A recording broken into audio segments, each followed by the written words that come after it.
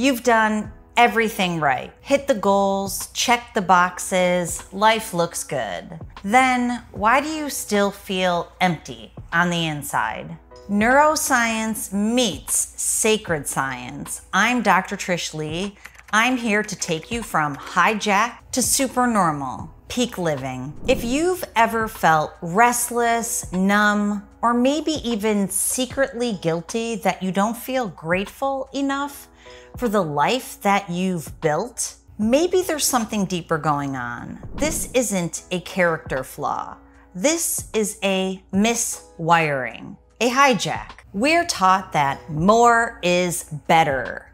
More output, more money, more friends, more doing, more, more, more. More everything. But the problem is when productivity becomes your identity, that more leads to emptiness, not to fulfillment. Your brain begins to run in overdrive. You can never shut it off. And you know what that leads to. Yes, hustling grind, but satisfaction, maybe not. Your deeper needs for meaning and true connection go unmet. From the outside, you appear to have everything all together a fit body, a great car, a beautiful family, a home in a neighborhood that you enjoy. But on the inside, restlessness, numbness, the need to go to the screen to feel better, maybe a constant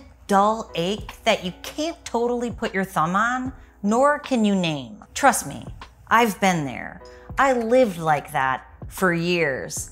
I was tenured and promoted at the university. I had the most beautiful, shiny Brady Bunch family, which I still have. They're not quite as shiny anymore because now we live in authenticity. But in those days, I was restless. Everyone would say to me, You have everything. Why do you keep striving? It's because I was caught in striving mode. I didn't know how to arrive. I want you to know you're not broken, nor are you ungrateful. You're stuck in a survival loop like I was for decades. It's kind of like climbing that ladder for success, and you're climbing and you're climbing and you get way to the top, but then you realize you've got that ladder hoisted up against the wrong wall. Here's what's really happening. Every accomplishment that you strive for gives your brain a dopamine hit. That's the brain's reward chemical. But if it's the only chemical that your brain is searching, your baseline levels change.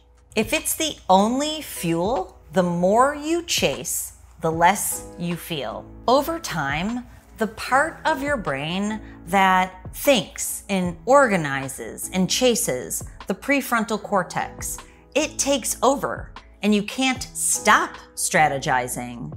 I know how that feels. And what happens is it hijacks those feeling centers, the limbic system in your brain. The vagus nerve that should anchor you in presence, safety, security, it gets sidelined. You stay in high output mode because you've lost the ability to stay present and feel safe in the moment. It's like driving your car around town with the gas pedal to the metal and no braking system.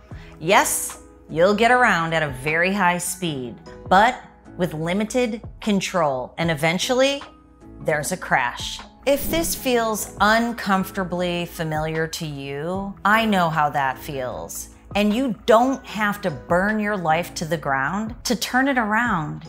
It's within reach whether you can see it or not. So stay with me and move through to the next video on how you can rewire your brain out of this hijack into super normal living, that peak living that you want and you deserve. I'm going to show you a three step reset and rewire strategy so that you can come out of this high productivity mode and feel more satisfaction without losing your ambition. That's the sweet spot. So follow me through so we can discuss how to achieve without burning out. I'll see you there.